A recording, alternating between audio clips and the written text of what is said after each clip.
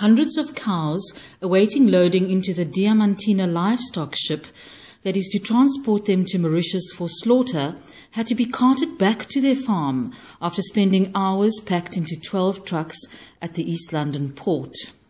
The vessel was unable to dock as expected due to a high swell. 1,700 cows and 1,000 sheep and goats worth 13 million rand will be loaded onto the Diamantina and make the six-day sea voyage to Mauritius, where they will be slaughtered.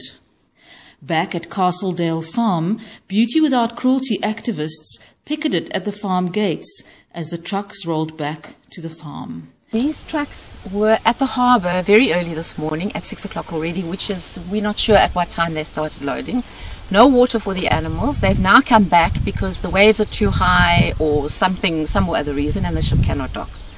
Um, this is now at the cost of trauma and everything to the animals. This is absolutely horrific and this is total abuse. Protesters say the animals suffer needlessly on board the ship and should rather be slaughtered in East London and their meat transported to Mauritius. By Barbara Hollands, Dispatch Live.